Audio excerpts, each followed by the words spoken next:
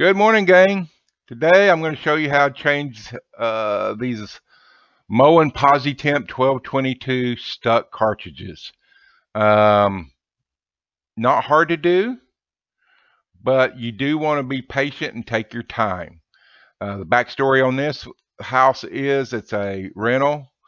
Um, and I'm going to give you a little audio at the end of me and the tenant having a conversation uh, she's a problem tenant, is always a problem tenant, loves to tell me how to do a job or what I need to do. so stay tuned for that. Uh, but on this home, I changed the water heater, has old galvanized pipes, and a lot of trash was, uh, was loosened, rust in the pipes and stuff, and it clogged up almost every faucet in the house. So this is the last one I'm dealing with. The uh, Danco is $10 cheaper than the Moen. So we went with the Danco. Uh, I think it was 35 bucks. Uh, there it is, package. Uh, the Danco comes with a tube of grease, but I recommend getting an extra tube of silicone grease. Now this little white cap is supposedly the tool you use to take it off. Notice those ears right there. I had to break those off of the old one to get it, and I think you do to get uh, the cartridge out. So here we are. I, as you can see, I were done broke those ears off. Now I'm, I did get the metal puller. I'm not messing around with the plastic. This is the clip that holds the cartridge in. Some of them are flat metal. So that's, in fact, this is the first wire one I've ever seen. I'm going to use some little penetrating oil there. I'm going to use liberal amounts of it because I want it to get back in there and um, help me every bit. So here we go. Um, let me put you back on the stand there and uh, get my puller ready. Now this puller has a bolt at the end that screws into the end of the the uh, shaft right there, as you can see it, uh, or the stem. just ignore the, I don't know what kind of bug that is crawling down the wall to the left. Just ignore that. this home has lots of bugs. So anyway, there it is.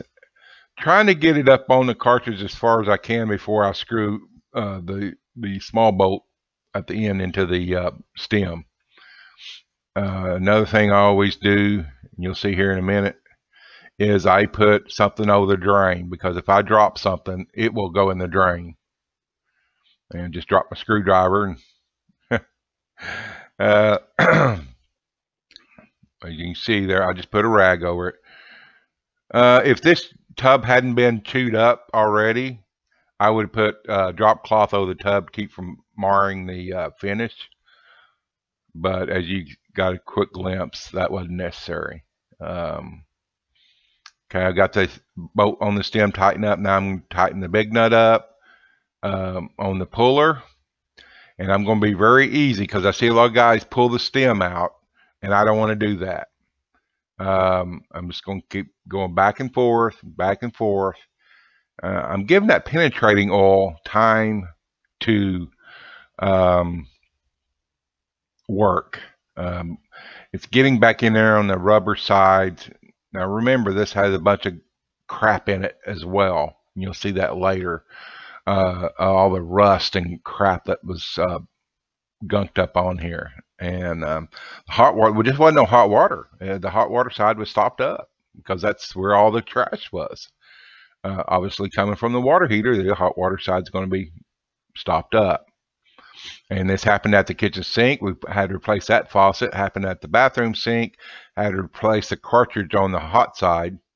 And uh, this one I got warm once, but the tenant you know, um, I, I, told her if it wasn't um, as warm as she wanted, let the landlord know, and I'd be back. Well, she took that to mean that I would was going to come back. So it was about this is about three weeks later after we had that last conversation, and I thought everything was okay because she never called the landlord.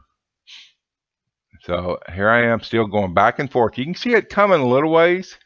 Just be patient with it. Use the penetrating oil and uh, yeah, take a break. if I'd had some coffee there, I probably could have uh, got it out a little quicker. But uh, anyway, I eventually do get this out uh, without pulling the stem out. I got it out all in one piece, and you're fixing to see that here, I believe. And um, just patience is the key on this, or, or you're going to cause yourself a lot more work. So I finally get it off. I think the tenant's coming home now. And there's the, finally got it out. Look at all the rust on that. It's just, I mean, uh, that's why I hate galvanized pipes, especially in these older homes, because it doesn't take much to get in these uh, cartridges and stop them up. So um, this one was really packed.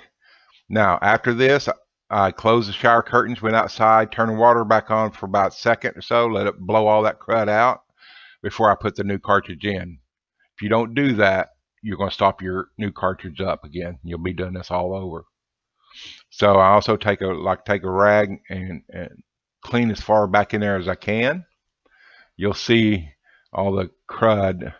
Basically, that rubber is just breaking down, and and um, this uh, rubber come out in several pieces. another reason I had to blow it out, clean the lines out. So anyway, now the audio of the tenant is coming up. Uh, well, maybe it's a little later.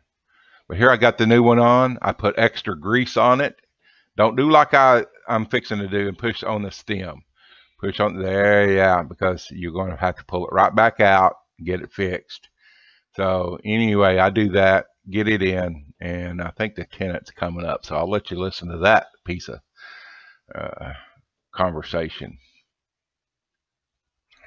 Oh. That's the only way to come out. And now. That is cool with me, and I was like, I was like, he done forgot.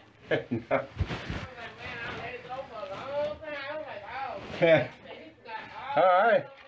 The last time I was here, I had a had it where it was warm on that side, and I told Miss Jane that I said, you know, if it if there's more trash in the line and it gets up in there, it's going to stop it off. And I said, you'll just have to let me know. And she said, she said, okay, I'll let you know. And so last Yeah, night she. I talked to you, and then you was like, you had to come back, because I Yeah. said the shower, when you said you got the bathroom and the sink working, and you was like, you had to come back and come to the thing. I was like, well, he forgot. Yeah. Man, that thing's tough out to of get. that. I'm like, shoot, man, I can't go no longer. I said, man, this is ridiculous. Can't you put in a water hose through the whole house?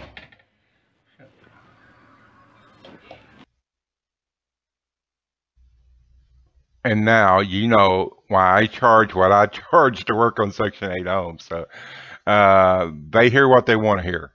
So anyway, here it is, final.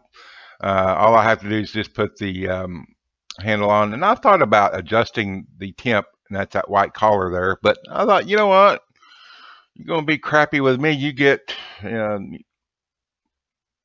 warm, lukewarm water instead of hot. So Anyway, that's this, and that's how it's done. It's pretty easy. Take your time. Hey, I appreciate y'all watching. Blue Collar DIY. Check out the blog, check out the podcast, and the newsletter. Uh, I think y'all gonna like it. Still working on it, so.